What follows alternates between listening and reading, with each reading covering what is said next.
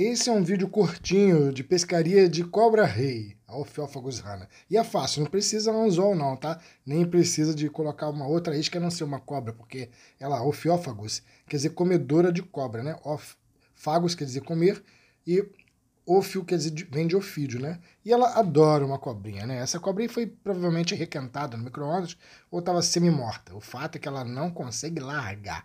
E eu não podia deixar de fazer esse videozinho curto aqui pra galera, pra galera ver, porque afinal de contas a Ophiophagus rana é muito brabinha, né, cara? E ela devora mesmo.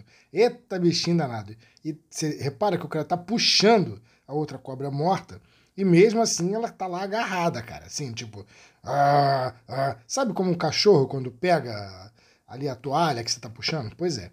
E agora, meu irmão, agora ela tá concentrada. Porque ela tá injetando ali uma pessoinha, achando que a cobra tava viva e ela tem que manter a pose de fortuna.